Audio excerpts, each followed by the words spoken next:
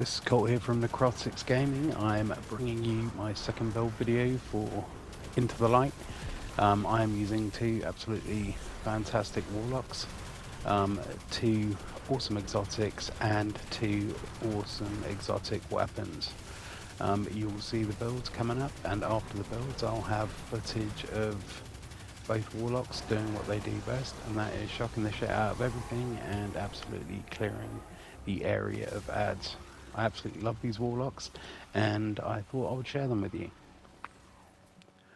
So the thing with both these Warlocks, the two exotics that I've chosen to go for basically create Arnic traces like crazy. The Storm Dancer's Brace and the Fallen Sunstar. And the weapons is a Centrifuge, and I am also going to be using the Risk Runner. Risk Runner is absolutely underrated and at Fiebs on her channel she knows all about it so you can check her out. So when we look at the builds we're going to be using everything exactly the same just changing out exotics.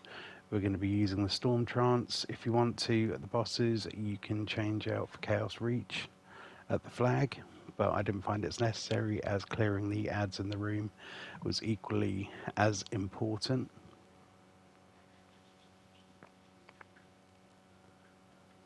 And when we look at what I'm running with, I'm going to be running with a Healing Rift.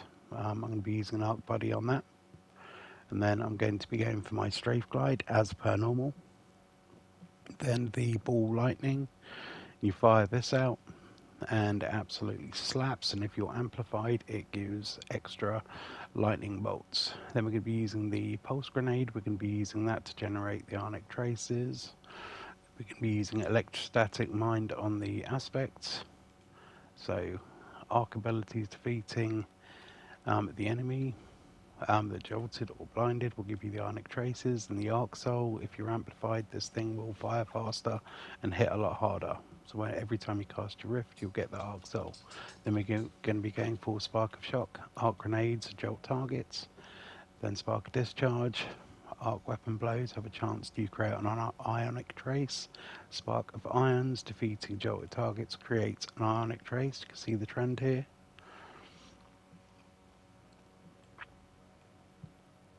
And then we're going to be going on to spark of beacons. While you're amplified, your arc special weapon, final blows, create blinding explosions. So on the risk runner and centrifuge, you're going to be getting those blinding explosions on top of all those ionic traces you are going to be generating.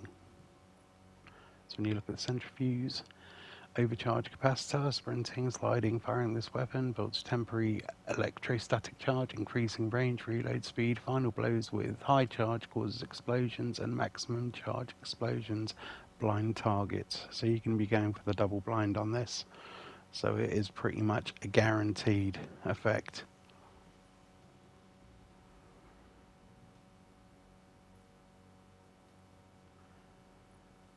So with the Fallen Sunstar, Arnic traces you create move faster and grant you additional ability energy and nearby allies also gain ability en energy when you collect Arnic trace.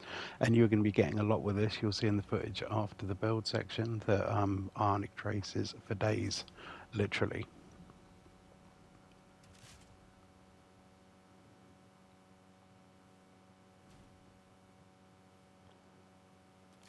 So now we have the Risk Runner.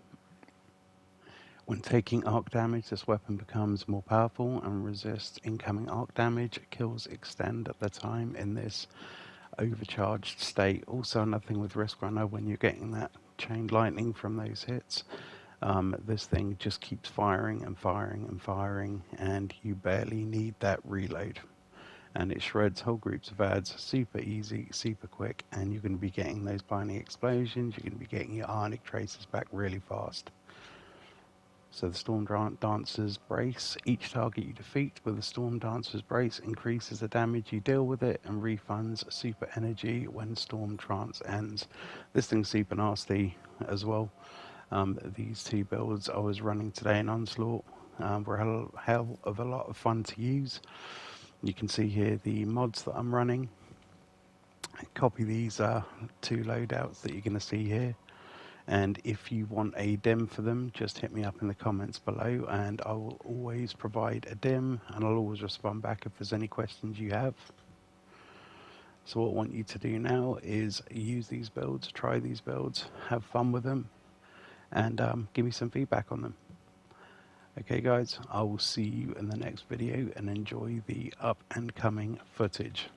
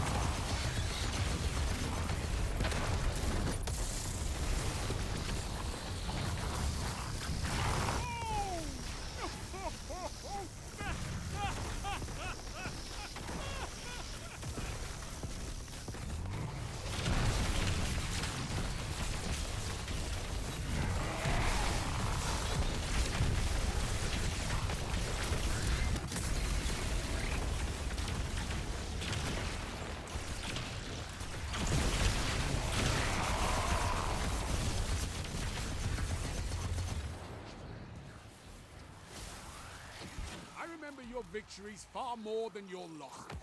You like to keep things interesting.